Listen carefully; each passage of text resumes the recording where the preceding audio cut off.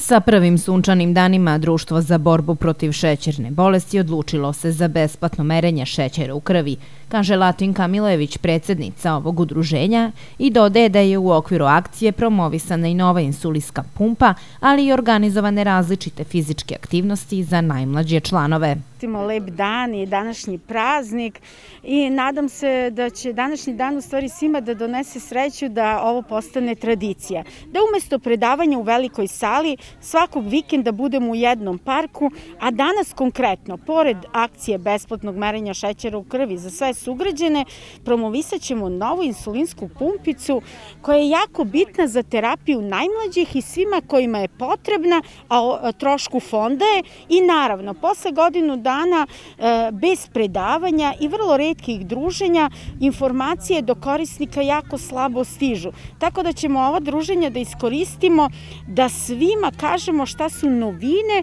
u svetu za lečenje šećerne bolesti. Insulinska pumpa je još jedan vid terapije diabetesa, kaže Jasna Nikolić, direktor firme Laboratorija DMC se insulin isporučuje na jedan specifičan način koji imitira isporuku insulina kod e, ljudi koji nemaju diabetes. U insulinsku pumpu ide samo brzo delujući, diabet, e, samo brzo delujući insulin koji se jednim delom programira da samostalno biva isporučen, to programiranje vrši lekar zajedno sa korisnikom pumpe, a drugi deo doziraju, odnosno taj bolusni deo doziraju e, korisnici insulinske pumpe da pokriju svoje obroke i da vrše korekcije